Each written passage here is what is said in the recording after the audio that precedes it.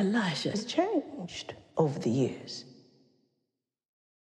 He's given up.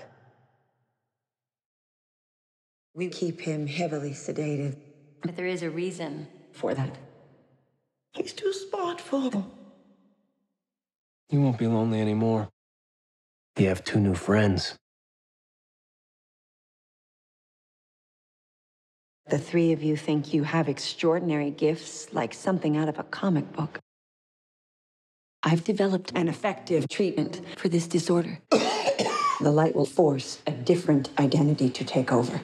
Por favor, señora. I want my headphones back.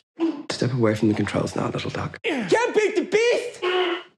So you're not going to shake my hand and let me walk out of here? Good for you. What do you want? I am here to see if tales of the extraordinary being are true. May I meet the beast? I'm Mary Reynolds.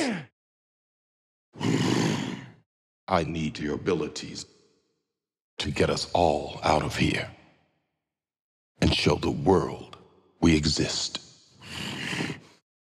That sounds like the bad guys teaming up. Do you believe you are an avenging angel, partner? I believe. Avenge us. I have to get out of here before he gets out. They are contained. They always underestimate the mastermind. It has begun. David, I found someone who will require your full potential. You shouldn't be hiding in the shadows.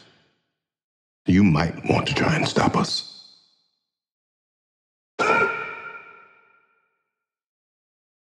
A lot of people are going to die. Now, who'd like a PB and J sandwich? We are not meant to have this much power. Finally, all of us together for the world to see what we are capable of. You need to get out of here.